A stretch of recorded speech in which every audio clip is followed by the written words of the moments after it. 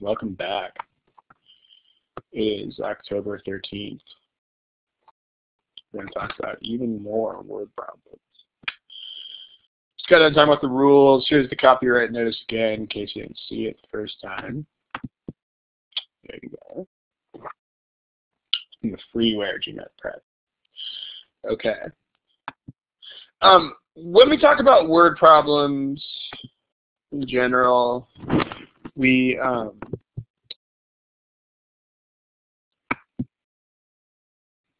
we have a few other sessions of the same thing. But basically what you got to understand when you do word problems is what causes the trouble that people have with word problems in the first place. Like in other words, why do people have this issue? So just to recap a discussion that we had in the previous study hall sessions about this.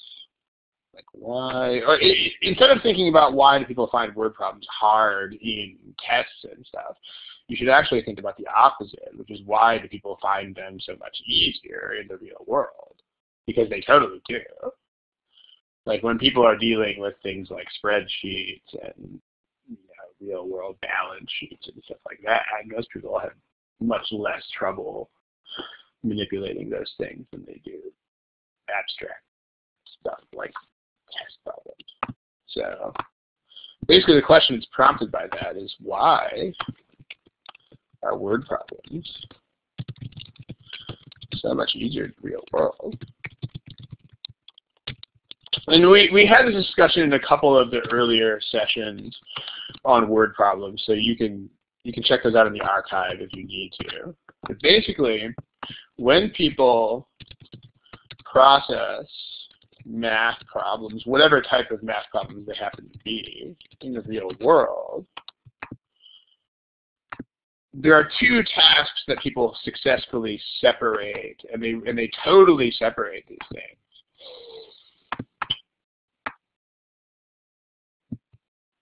Two separate tasks, which are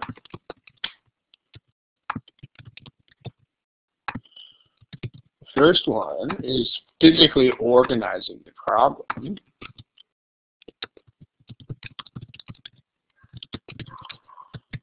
I mean, this is exemplified by when people make things like Excel sheets. Like if you think about making a spreadsheet, when you first make a spreadsheet, it is empty it doesn't have numbers in it yet. And, and you make the whole thing before you start putting things like numbers and formulas in it. All right, leave me a smiley face if that makes sense. Like you don't you don't start messing around with things like numbers and relationships until you have a setup. So I mean you're not literally making spreadsheets on this test, but this is the step that is like making an empty Excel sheet. So if you think about it, this could be a diagram, it could be a chart, it could be a table, it could be any number of things. Chart, table, diagram, the other organizational device.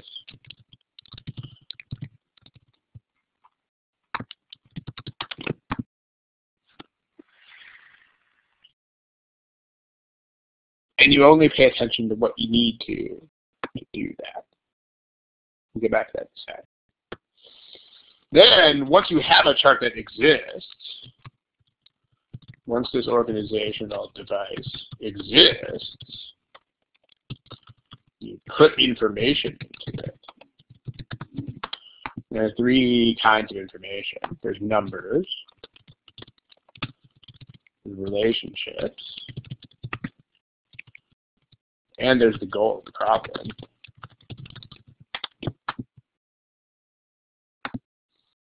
Just separate steps. Like again, think about doing these things. They're separate. And then only once you've done all of this, we're going to put this into practice here in a second. So once you've done both of these things, only then pick a strategy and try to solve.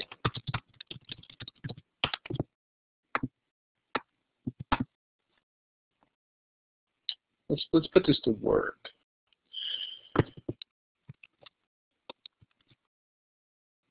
Let's do a problem. There you go.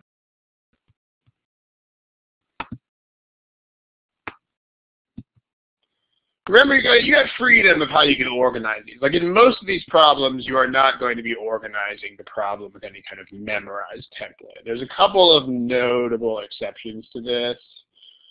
One of which is the uh, overlapping sets thing. Like those, you're always going to organize in pretty much exactly the same way. But those are notable for that reason. Like in most of these problems, you have considerable freedom as to how you actually want to organize the problem. So there's the gig. Uh, here's where you are going to pick the multiple choice answers once you have one. Please pick them here. Please do not pick an answer in the chat box. Thank y'all. I'll give you a couple minutes to do that one. Go for it.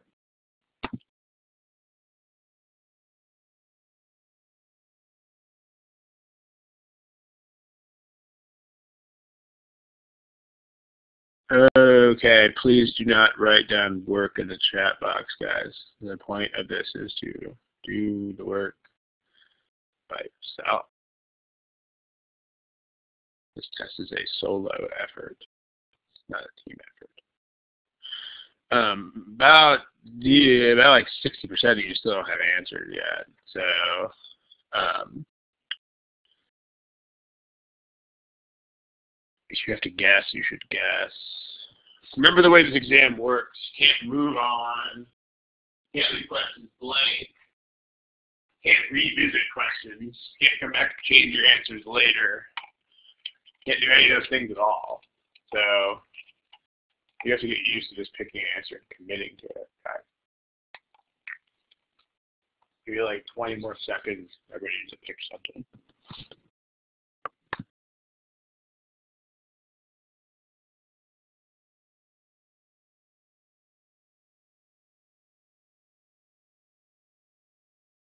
Okay, let's talk about it. Um, looks like the uh, answers are mostly A, B, and D. That's Alpha, Bravo, and Delta. Alligator, boy, and dog. There's not a lot of people picking C or E. So talk about it.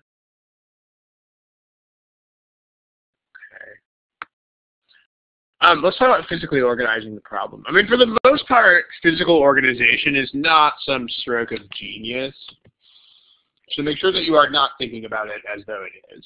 Like, please do not make sure that you, please do not think that you have to organize these things in ways that are like incredibly genius. Um, because you don't. For the most part, it's like making a spreadsheet except less complicated than a spreadsheet because spreadsheets have many, many, many rows and columns. Like, how did you organize this problem? How did somebody can summarize for me in the chat? There's a way.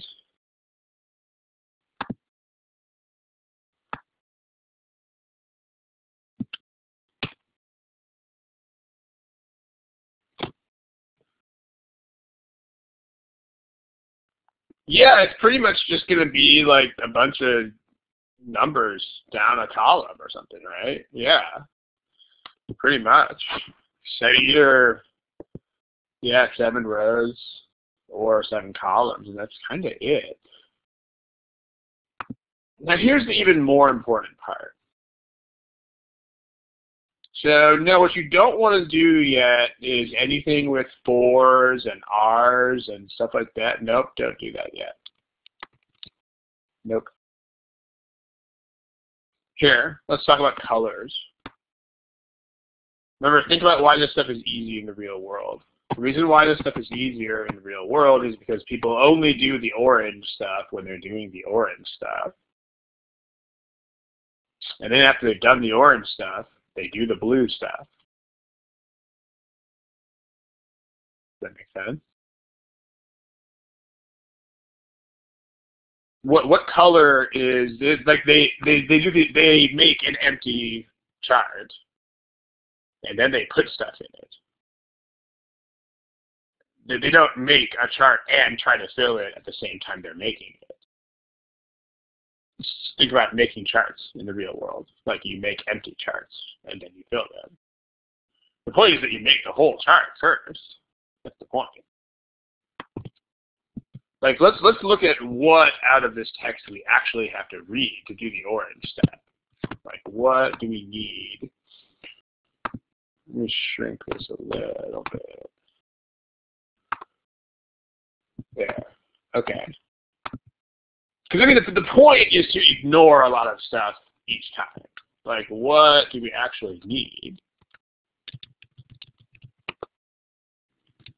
to organize the problem? Not not a lot of it. I mean, okay, you have first planted. You don't pay attention to the four feet right now because that's later. That, that's a number that goes in a chart. Same thing, constant amount, we don't care right now because that's not, that's blue stuff. That's a math relationship.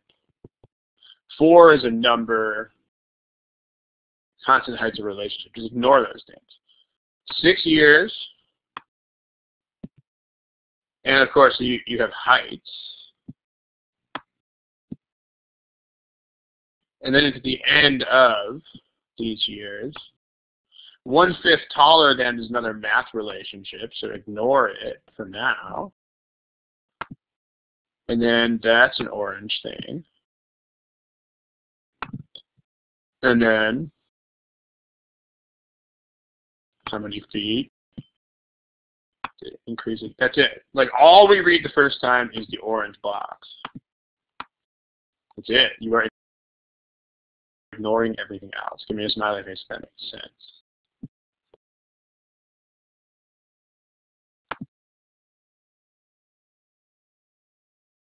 And again, the, next time you make a chart for anything in the real world, just pay attention to this. Pay attention to what you actually use to make the chart and what you put off until later. So yeah, we can just do that with seven rows. One, two, three, four, five, six, Uh, seven, see. Let's move all this stuff.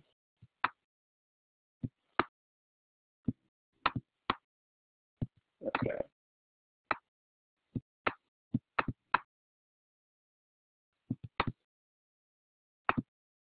Yeah, there we go. Start. End of year one. End of year two. End of year three.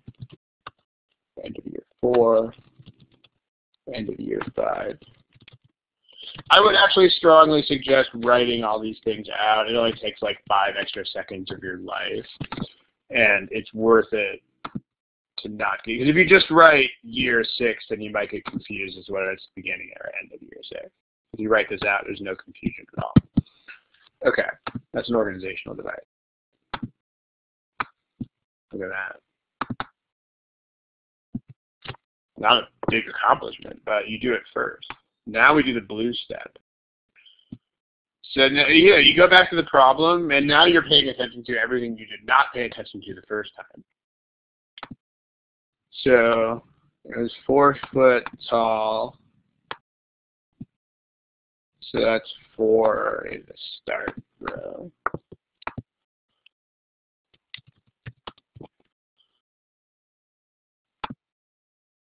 What does constant on each year mean?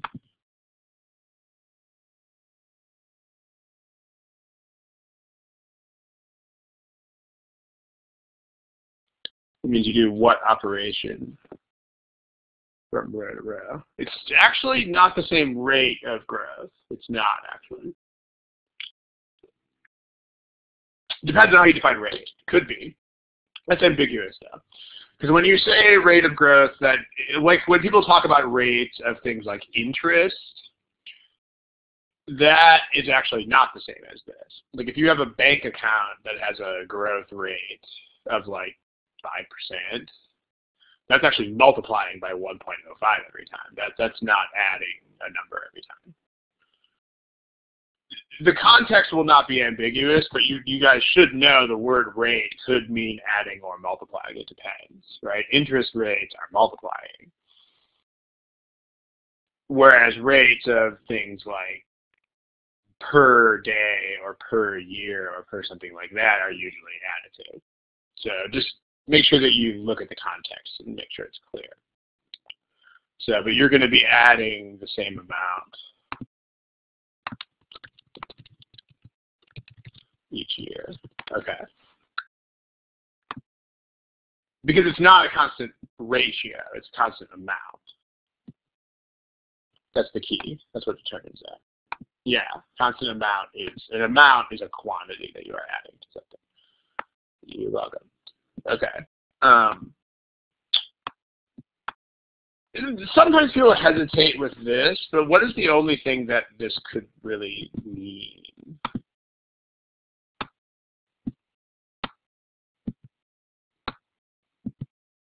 If it's one fifth taller, then that's that's sort of weird the way they wrote that. But that's that's clearly not one fifth of a foot taller, because the smallest number in the choices is three tenths of a foot every single year. So there's no way this difference could be one fifth of a foot.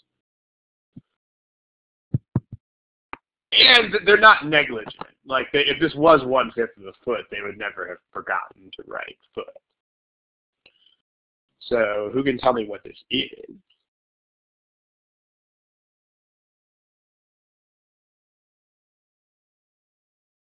Yeah, it's 20%. One, remember, percentages and fractions are the same thing. So if this doesn't make sense to you as one-fifth taller, just write it as an equivalent form that uses the percentage.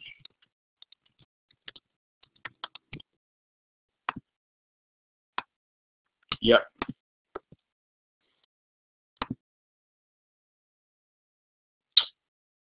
So uh, let's say that this,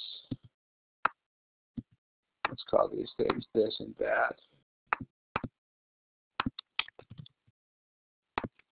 And we're told that that is 20% taller than this.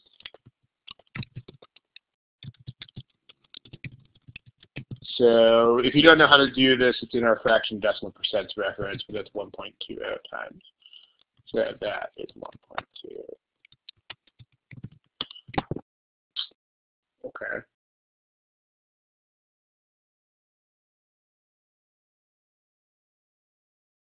How do we solve the problem?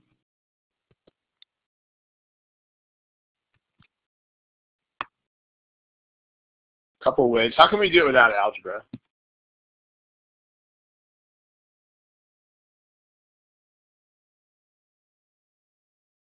Yeah, you can just you can just you work backwards from the choices. Let's let's try that. Um, let's back solve. Sure. So you plug in a choice, and you just keep adding it.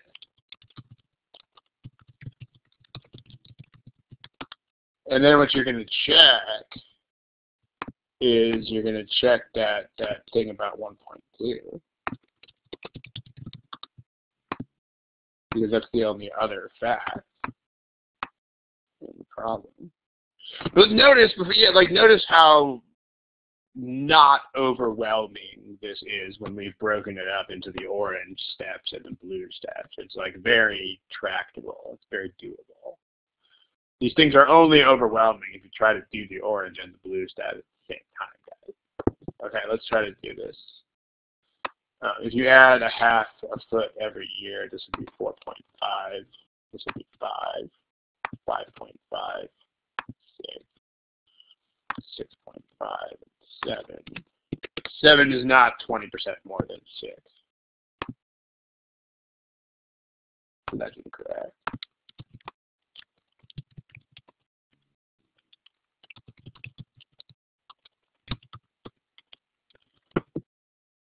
Okay. Well, uh, no, it's not. Remember, in fact, if you are adding a constant amount, then by definition, it's not a constant percentage change, and vice versa. Because if you think about it, um, this is in response to Sandeep's question. If you're adding the same amount, like imagine you have a kid who grows like three inches a year. Like when that kid is still a small kid, that, that three inches is going to be a pretty big percentage of that kid's height, right? But when that kid's an adult who's or a teenager who's like five or six feet tall, it's going to be a much smaller percentage.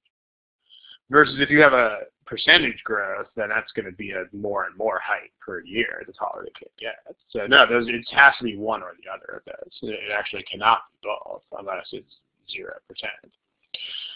So let me a smiley face that makes sense. Cool. All right, so these are not right. Uh, the next ugliest fraction to me would probably be the 2 fifths because at least those are terminating decimals. So I'd go for that next. I'd go for the 2 fifths. Um, that's 0.4. So that's 4.8. There's 5.2. That's 5.6. That's 6, and that's 6.4. So, okay, is one point, remember all you're checking is whether 1.2 times 5.6 is equal to 6.4. You don't need to work this out all the way. Like if you set this multiplication up, just like think about it, right? If you're like, okay, 1.2 times 5.6 I mean, the first step is going to give you a 2 here, and then you get some digits up there. And then it's like blah, blah, blah, blah, blah. And then you're going to have two decimal places. In other words, it's going to look like that. that that's not 6.4. So I, I don't care what this number is, because it's not 6.4 smiley face if that makes sense.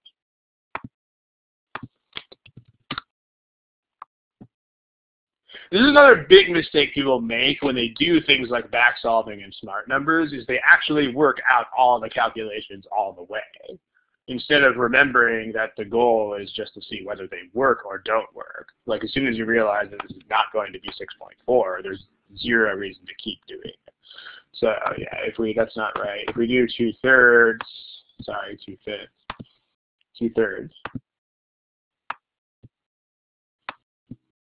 That's gonna have to we have to keep those as fractions. So that's four. That's four and two thirds.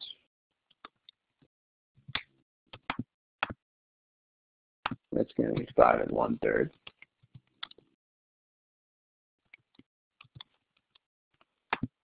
That's going to be 6. This is going to be 6 and 2 thirds. This is going to be 7 and 1 third. And is going to be 8. The numbers we're working with are 6 and 2 thirds and 8. So is 1.2 is a fraction now. So six fifths. So it is six fifths times six and two thirds. Six and two thirds is twenty thirds. Is that equal to eight? Well,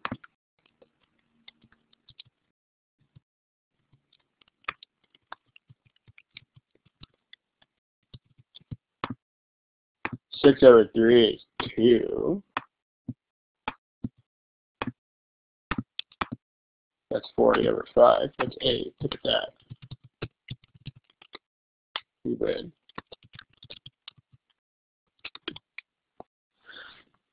So it's D, dog. No algebra necessary. You can do algebra. Of course you can.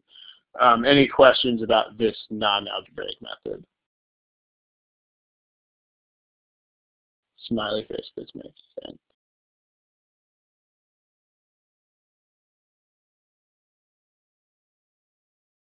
Smiley face thingy. Cool. All right, let's let's do the algebra super quick. It's a blank version of that chart again.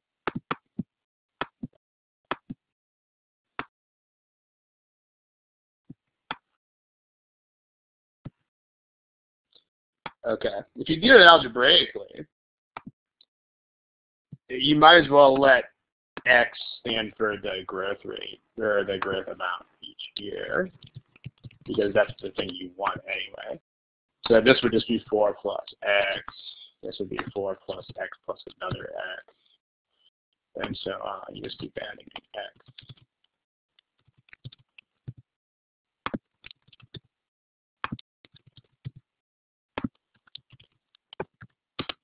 Again, notice the same organizational device is great, right? Like you use it, it's the same thing no matter which strategy you pick. So if you use that as one half times this,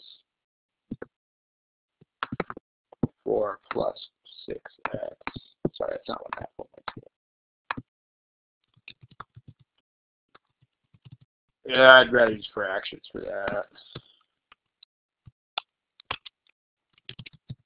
with algebra, it's usually easier to deal with fractions.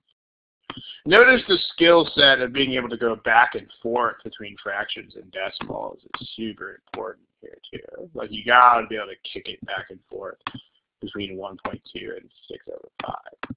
There, there can't really be hesitation there. So let's multiply both sides by 5.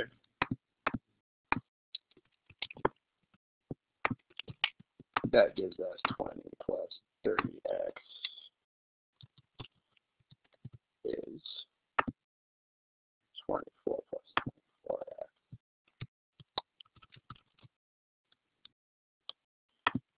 24x. Do a. And there you go.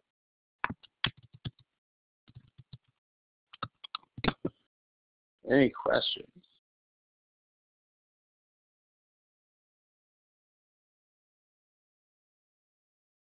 Remember, when you review the problem, the single most important thing you can do when you review problems is not let yourself do whatever you did the first time. So if you did algebra the first time, make yourself back solve when you review. If you did back solving the first time, make yourself do algebra when you review. Whatever you, just whatever it is. The point is to develop a diversity of solutions. Okay, let's do it.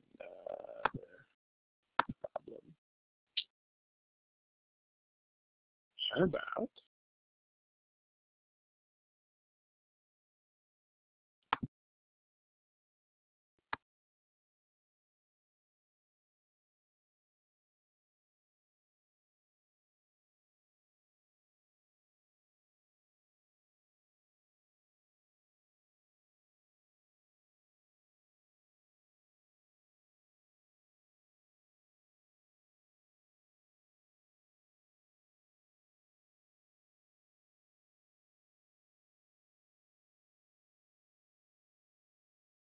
I just realized I was off the mic. Um, don't forget to separate these tasks as best you can. Don't forget where the multiple choice answers are located. Have fun. There's only five people with answers. It's not a lot of people.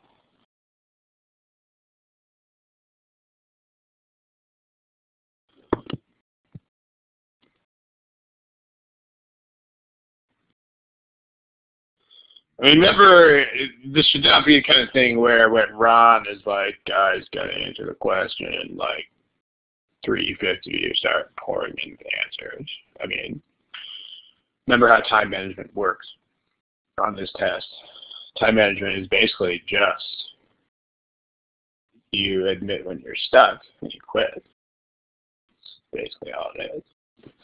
Okay, let's talk about it.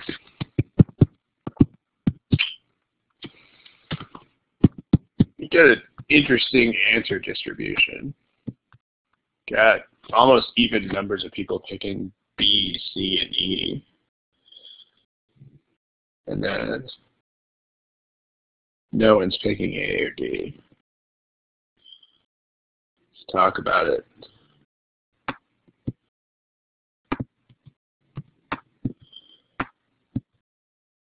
Organize it first. I mean, some some sort of organizing, right? Something, something that can help you make this less overwhelming. Because, yeah, about two thirds of people got this wrong, so something is clearly an issue. Let's talk about organizing it. What's happening in the problem? Like, what is the problem asking you to do?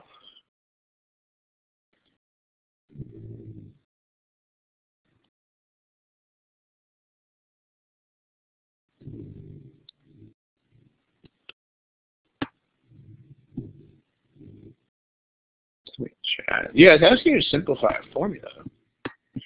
So it's like a procedural thing, right? How would you map that out? How would you map out the simplification of a formula on like everyday you know normal planet Earth? How would you do that?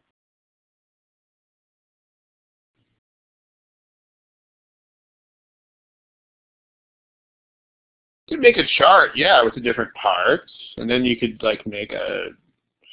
I mean, I'm sure that some of you guys in, in the jobs that you do would probably call this a workflow or something like that, or a flow chart, something. It's basically workflow. I mean, you take stuff and you do things to get it simplified stuff. So it's like a workflow. So the orange thing can just be setting up a workflow. A chart with different terms, yeah, right? So and again, you don't worry about the specifics because that's the blue part. So you're going to add something, don't care yet, to the average of something I don't care yet and something else. I mean, honestly, that's kind of all you care about right now. Is that. It, it is and it isn't because reading comp is not this detail oriented in a specific way. Like you you wouldn't if it was reading comp you wouldn't be paying any attention on this level of detail. But on a certain I get what you're saying, which is on some level of analogy that's true. Like you're kind of to whatever extent there's like a main idea of the problem, you're kind of looking for it. That's kind of an interesting way to. That's actually a very insightful way to think about this. Yeah, it's kind of what the deal is. You could you could think of it as orange thing as like a main idea problems. Actually, a very cool way to think about it. Uh, the main idea of this problem, yeah, is you're going to take something and add it to the average of something and something else. You guys know how to take average things. You add them, and you divide by 2. That's not that hard. It's only hard if you try to do everything at the same time. That's when it gets hard.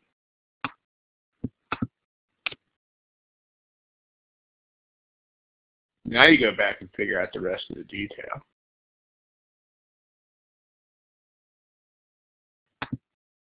So the I is defined at the end of the problem.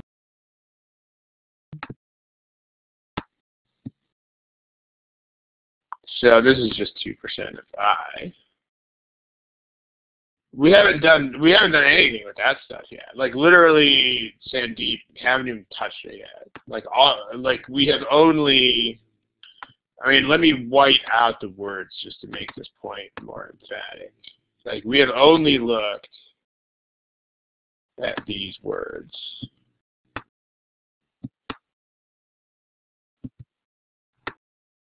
Like the the numbers 100 and percent, those kinds of things don't even exist yet. That's all we got right now. That. Because that's I mean, that, at a large scale, that's all you're doing is you're adding blah blah blah blah blah to the average of blah blah blah blah blah and blah blah blah blah blah. And then you figure out what the blah blah blahs are. That's the point, though. You just if there's different layers of stuff, don't pay attention to more than one layer at a time. Okay, so two percent of one's annual income is two percent of I. Should probably do it as fractions because these are fractions. These, are not decimal. So probably do these fractions. So that's 2i over 100.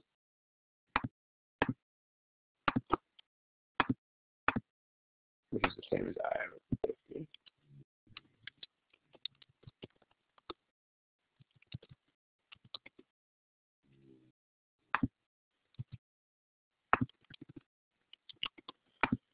Okay. And then you're taking the arithmetic mean of 100. Is that clear to you guys now, Claire? Sandeep, are we good? So level of looking at one layer of meaning at a time. It's, it's if you had to do this on a tax form, I'm sure you guys would be all over it. You're like, okay, just to figure this deduction. You gotta take this thing from line 36 on form 1040A and add it to the average of this form schedule E and this line on form schedule as E. You guys would be fine with that. It wouldn't be overwhelming. Try to just bring in the same intuition here. So, um, how's my sound, everyone else? Is my sound messed up? Okay, good.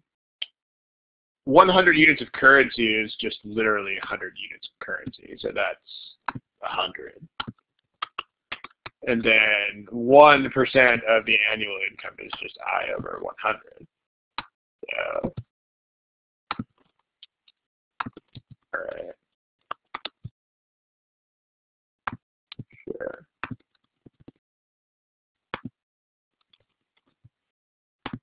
Okay you got to know how to deal with these fractional expressions. I mean, you can just multiply the top and bottom of this by 2.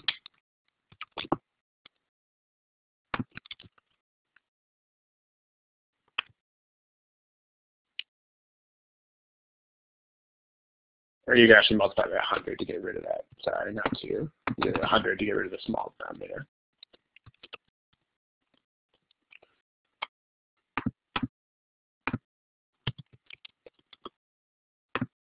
That gets rid of the picture-in-picture fraction, so to speak. So we'll leave this one alone for a second. Pi over 50 plus. This is going to be over 200 now. That's going to be 10,000 plus i. And a common denominator.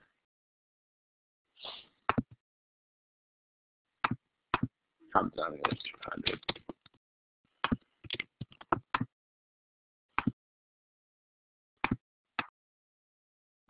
So that's going to be 4i over 200. plus all this stuff. So that winds up being 5i plus 10,000 over 200. Which answer choice is that?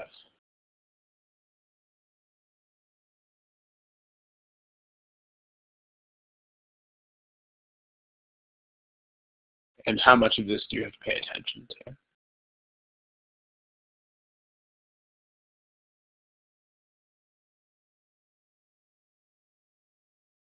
It's going to simplify to one of the choices, though. I mean, which is the only part we have to look at. Remember to always be doing this with your heads up. Like, some people are looking at 10,000 over 200 first, but that'd be a mistake. Because these are five different I terms. So If you figure out the I term is, sorry, 3i over 100 is the same in B and E.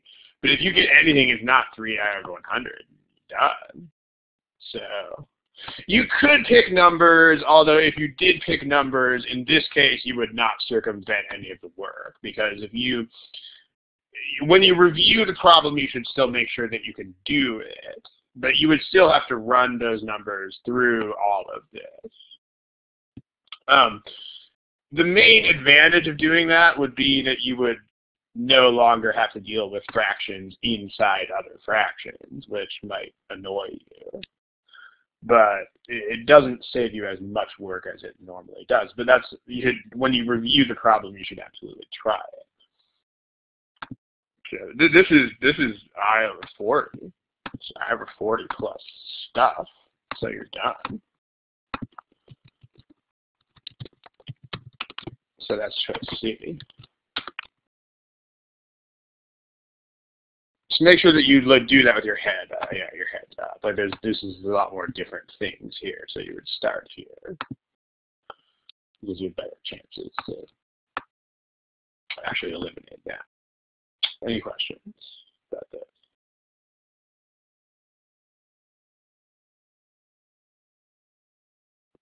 Try the picking numbers at home on this problem. Um, make sure you can do it. I mean, it, it would be literally the same process. You would, be, you would be picking a number and running it through the same sequence of steps. The only advantage being that you would no longer have to do things like common denominators and fractions. Like if I was 100, let's do it. Let's say you pick I as 100.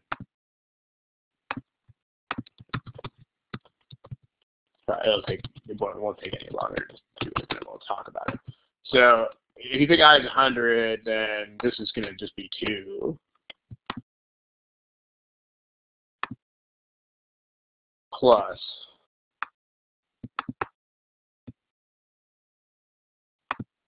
that average works out to be 100 plus 1 over 2.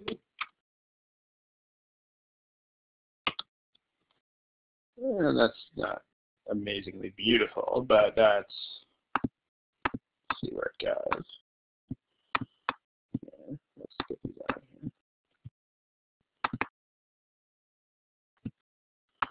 So that's 2 plus 101 over 2. That's 2 plus 50.5. So that's 52.5. And then remember you picked I as 100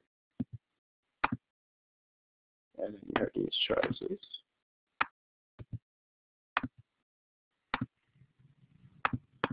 So you can see where the trade-off is.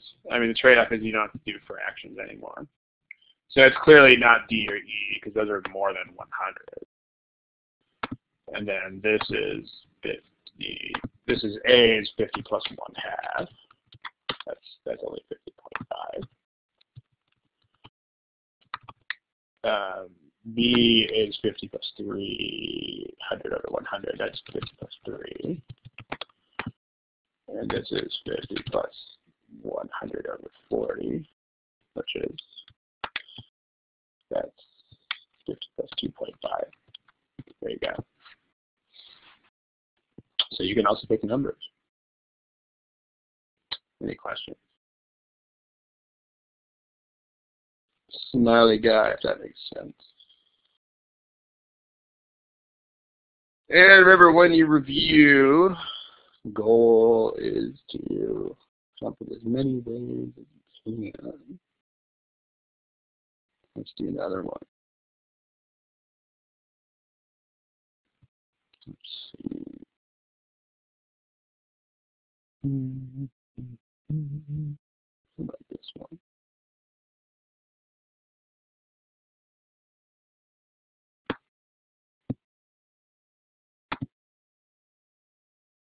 Okay, you know where the multiple choice answers are.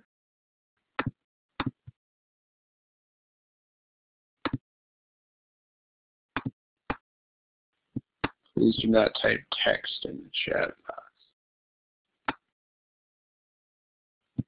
It.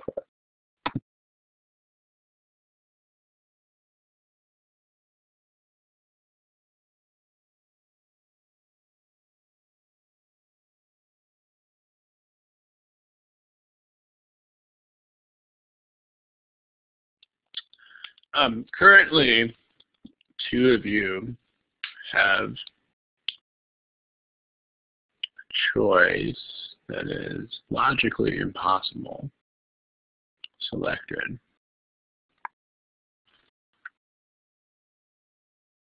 So don't do that. Don't pick impossible choices.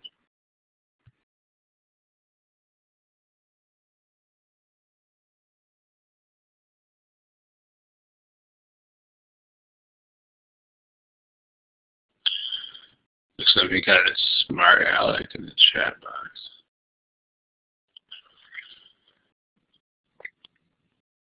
Gotta pick something, guys. Um, does anybody know which is the impossible answer choice?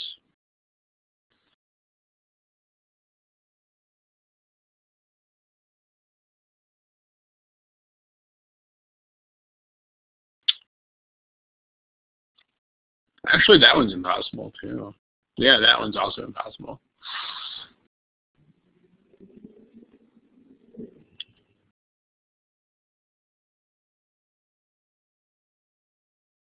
Here, um,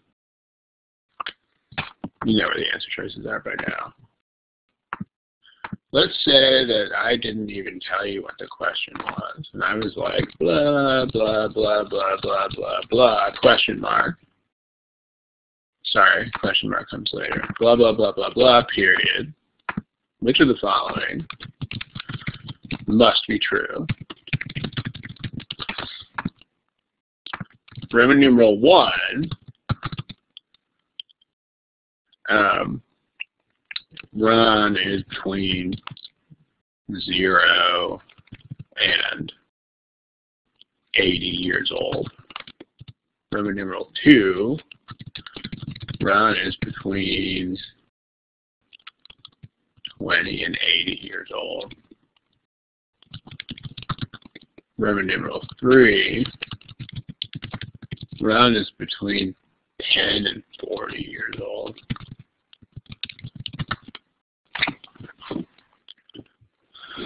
Uh, can anybody tell me something about these three statements? Like, if you know, like, which one of these can't be true without also making another one of them true?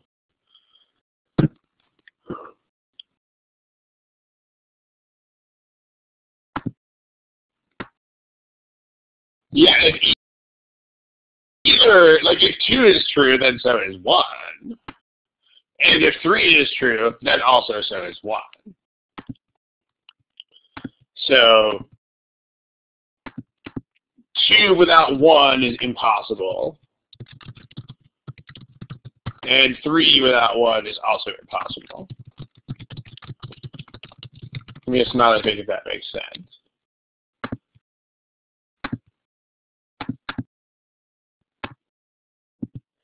This is the same thing. These are more annoying looking because they're algebraic quantities, but you you should definitely not have picked B or C to this problem. The other the other choices are at least logically consistent with themselves, but yeah, like if you found out that Ron had to be in his 30s, for example, then all three of them would be true. Um, that sort of thing. Okay. So, but you definitely shouldn't have picked B or D, or sorry, B or C, because those are not things. Those are not possible. Okay, now let's actually do the problem.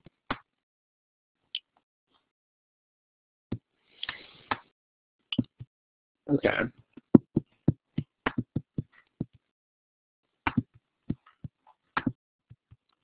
Orange stuff. Let's organize. Orange is figure out what's happening and organize problem.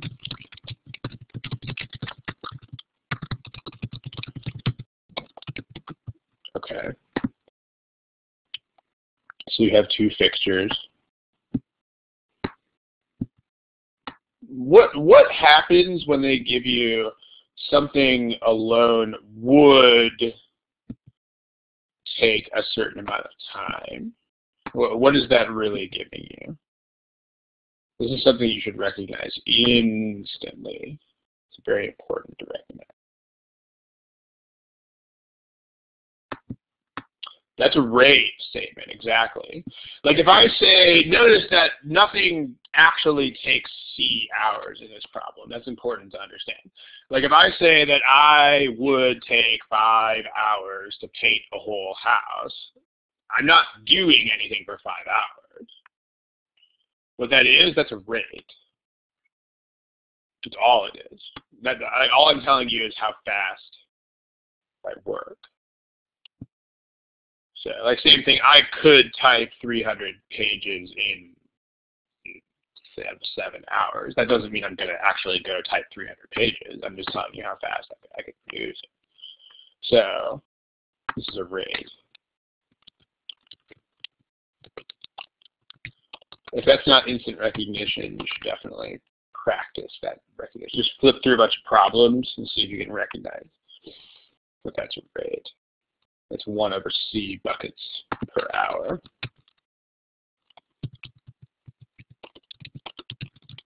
Okay.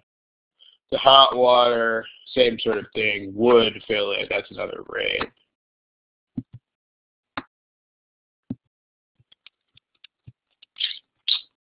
Nearly at the same time. So you're going to be adding some rates.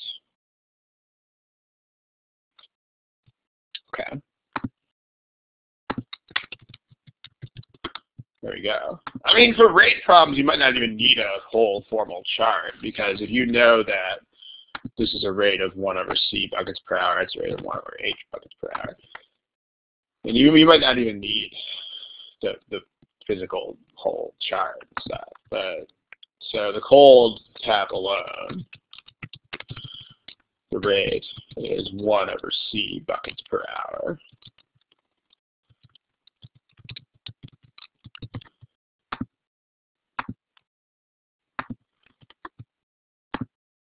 And then the hot tap line is 1 over H buckets per hour.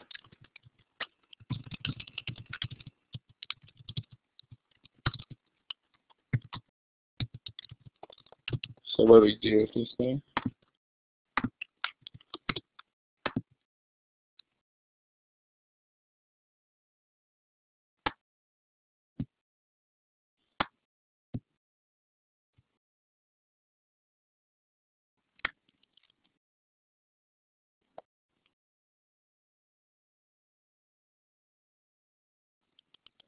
What, what would you guys do with that?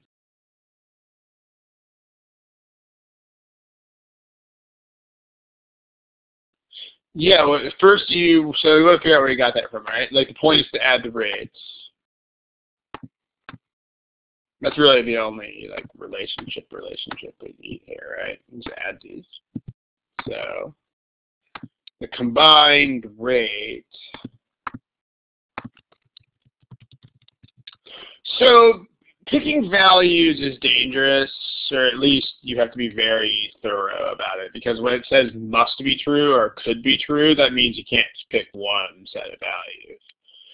Because you would actually have to, you would actually have to systematically and exhaustively test these things.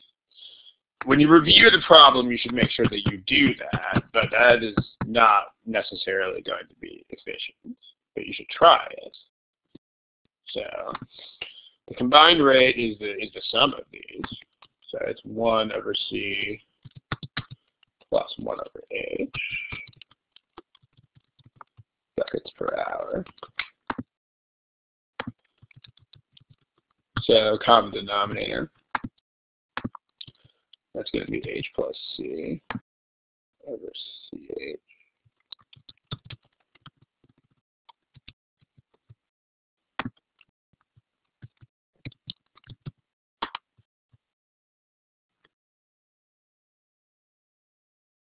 Okay. I mean, no, yeah, picking values is just as good. Sure. So then you have rate times time is for one bucket, which is what we want. We want, we want that.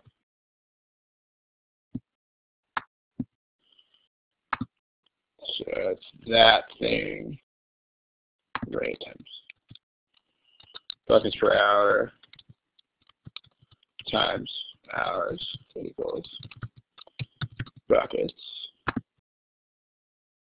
Remember, the point is not does this save time. The point is to accumulate as many ways to solve these things as you can. You don't want to think about does it save time. You just want to do stuff and not not do stuff.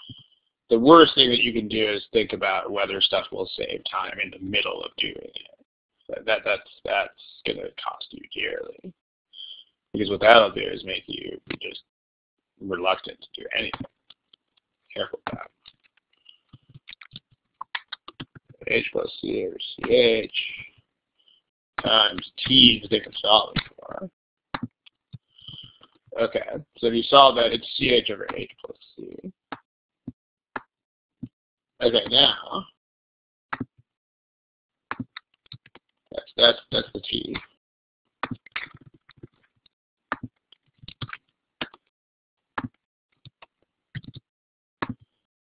There you go.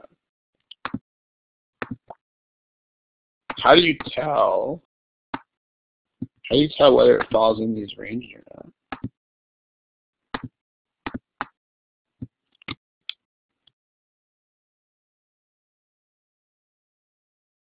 And you could start throwing values at it. And again, when you review the problem, you should make sure. But you don't need to plug in anything. No.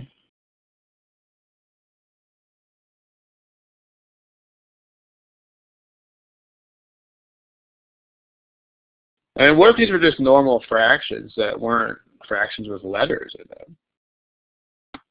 Like, how would you tell? How would you tell if like three sevenths was between two fifths and one half?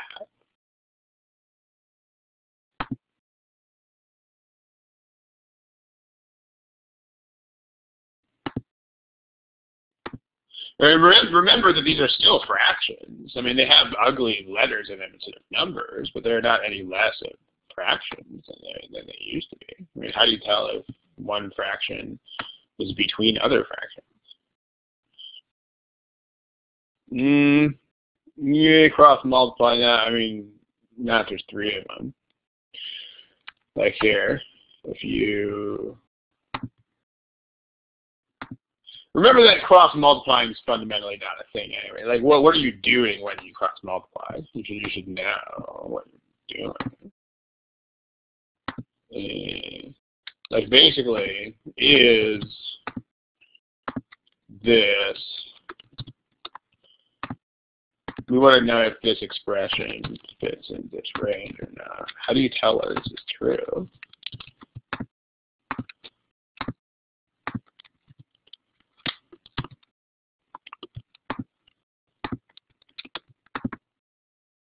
Yeah, that's how you just make a common denominator, guys. It's exactly like having regular fractions. If this was like three sevenths and this was one half, and I wanted to know if five elevenths or something was in there, I would just you can't cross multiply because you have three fractions, but you could just give them all the common denominator of everybody. So yeah, sure. So Let's give everybody common denominator.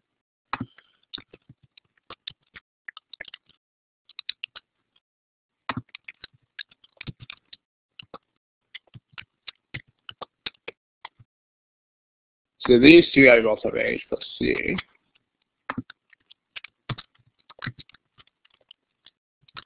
And then these have to be multiplied by 2.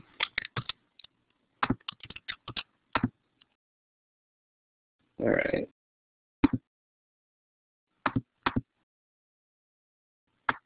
This becomes, everybody's over the same denominator now. So is hc plus c squared less than 2ch hc, which is hc plus h squared.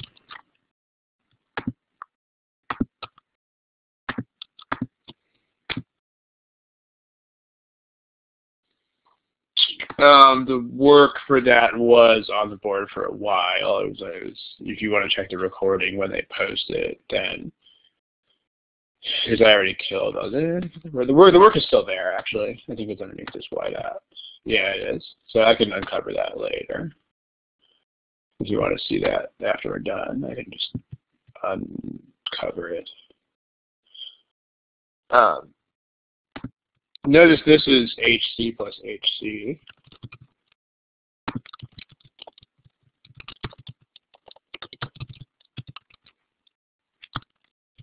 So this is absolutely true. Because H is bigger than C. So C times C is going to be less than, the HCs are all the same. These left-hand terms are the same in all three. And then if you compare these guys,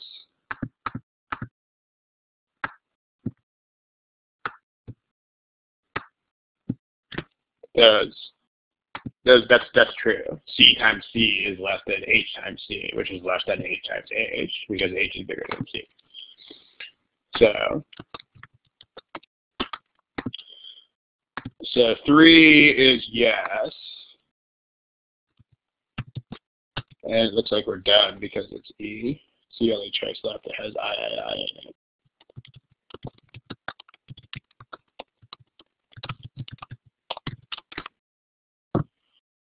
Cool. You know what else you can also do?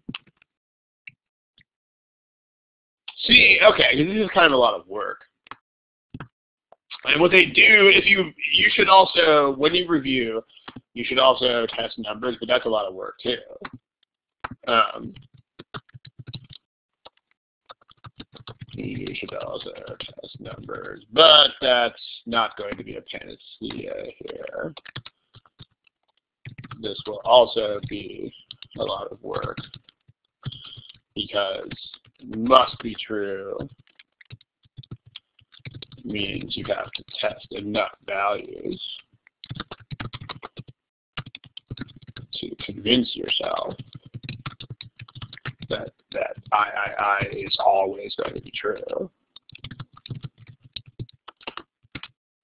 Um, we put well, if three is true, then we're done because it's the only choice left that has three in it. Two is wrong because the choices. I mean, you would do two the same way. You would just you would just line it up like this and give it a common denominator h plus c, and then you would. Um, less than h would definitely have to be true in fact this is less than half of the h, but greater than c would not would not have to be true. So th this inequality would not work. Um, but there's also, like, when there's this much work in the problem,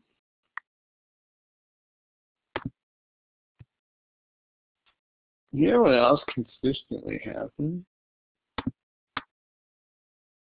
a lot of the time you can just be like, yo, common sense. That's a thing. Do that a lot of the time. When there's this much, there's this much stuff happening problem, always think about common sense first. I mean, I've seen problems where there's like back-breaking amount of work, but if you actually the, the the answer choices had like square roots of three and pi in them and stuff, and it was like how much area is this grass field? And if you actually estimated the numbers, then four of the choices were negative, and only one of them was actually a positive number. So like if you bothered to do that, you'd be like, I don't even have to do the work. That's kind of cool. Remember, these choices are logically impossible. It doesn't matter what the level is. You should never think about that. That's not a thing. Okay. Um, remember, these are logically impossible. Okay. Let's just think about this with common sense, guys. If you had two of these taps,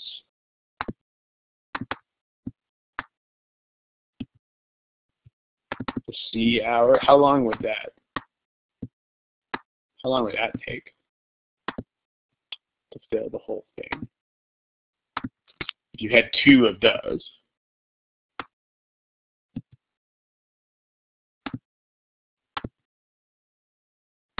instead of one. If you have one of them, it takes C hours. If you had two of those, how long would it take? It would take half the time. Yeah. If you had two of these taps, it would take half the time to fill the thing.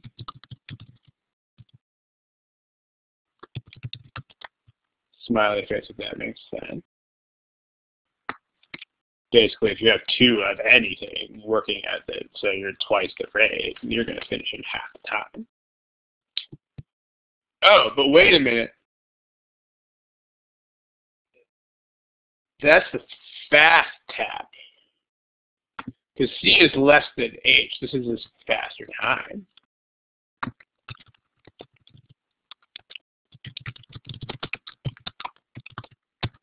So these two pipes will take longer than that.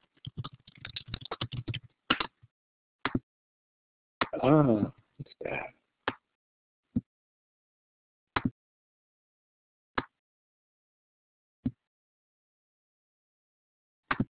What about the H hours? We had two of those. Same same deal, right? If you had two of these things, it's going to take H over two.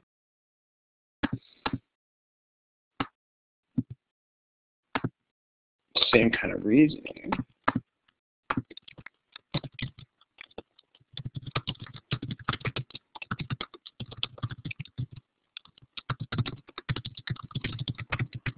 But this is the slow tap, so you're actually going to be faster than that.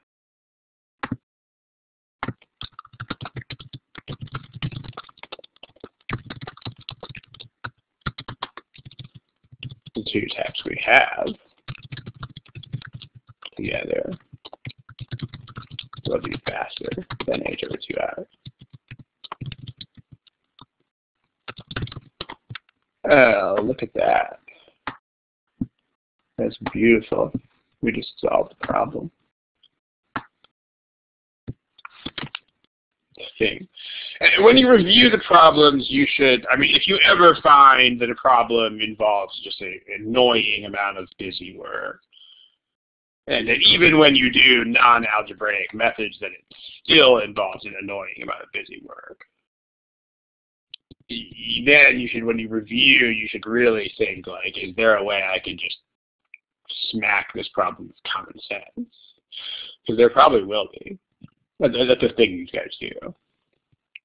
So be aware of that. I mean, I, you know, because in this problem, both the algebra method and the testing numbers method are, are lots of steps. So they, they will build in either one of the methods like back solving or smart numbers or what have you will be fewer steps or like it'll be super efficient. Or you'll have something like this where you can just like think about it and be like, oh yeah, boom. But think about this when you review. They do this, thing. So then if number three is true, then you're finished because the choice is, right? So you don't need to think about it. Um, you you can also, you know, if you think about these things, like it's not going to take you longer with two tabs. You can also realize that statement two is false. I mean, that's also common sense because C is how long the cold tap takes alone. So if you turn on the cold tap and anything else, then it's definitely going to take you less than C, right?